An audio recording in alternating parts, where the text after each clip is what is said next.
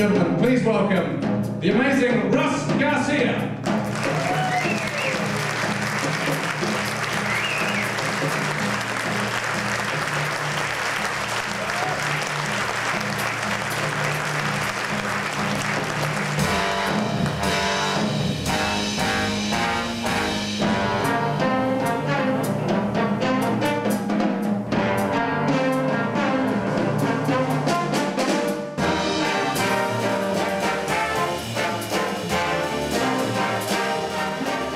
Are we on?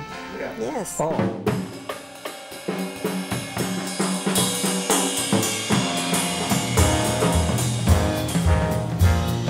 Flying free, how I love it, it's the way I wanna be. He has played probably every instrument that's that exists. Russell's books were the books because they were in every university in America. They were taught. It was like on this is how you write. This is how you write two part, three, right through to seven part, and for orchestras. My CV is goes on for pages, and I scrapped it because nobody would believe it.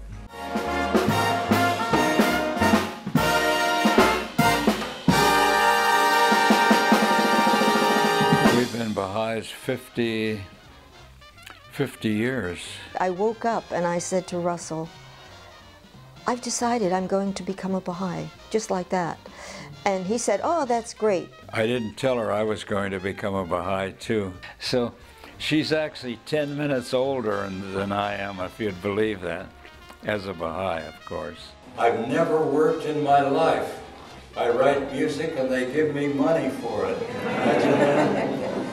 Which I don't refuse. And as a little child, I used to sing in the pizza parlor with my, my grandfather used to get me up because I could sing in Italian. Music, music, music, nothing but music.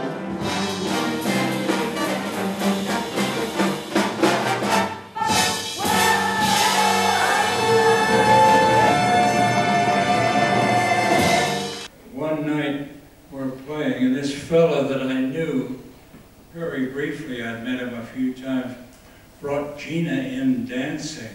When I saw her, I nearly fell off my chair. I saw you and my heart skipped a beat.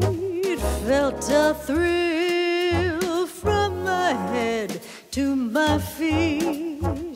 Well, when we actually got married, I was 21. Our daughter was 10. She had just had a 10th birthday in October. And David was 11. And then I chased her until she caught me. but Gina was the perfect wife for me. Still is.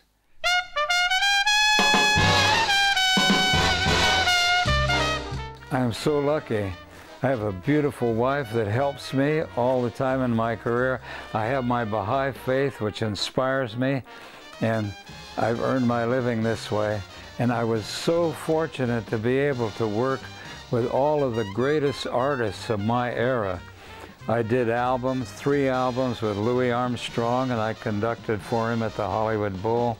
I worked with Ella Fitzgerald albums, uh, Sarah Vaughan, Sammy Davis Jr., Mel Torme, Anita O'Day, and jazz artists like Oscar Peterson.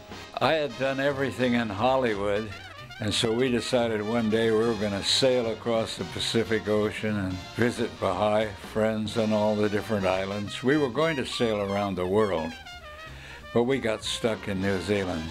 He came home from Universal Studios and he said, Gina, what would you think if we sold everything and bought a little sailboat and go visit our Baha'i family around the world? And I said, You're out of your mind. I can't even swim. For people who think nothing's going to go wrong, it's an absolute ridiculous. It's absolutely impossible because there's always something that will go wrong. We ran into a hurricane the first night we started on our trip. You have to be either very brave or a little crazy to go across the ocean in a small sailboat.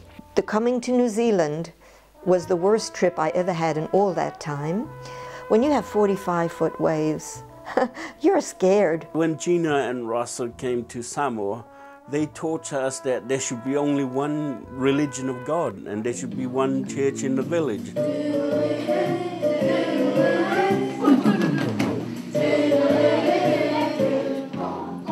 We developed a course, all of a sudden, we're teaching at three schools, and it's being used at four other schools just in our own Bay of Islands area. But the way we teach the children, we do it with songs and raps and stories and games. And the children love it and they're learning it and it's having an effect on these children.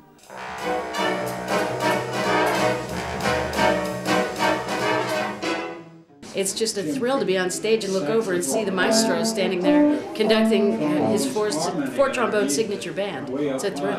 I remember one of the lunches I went to at, at Gina and Russ's and I went off to use the bathroom.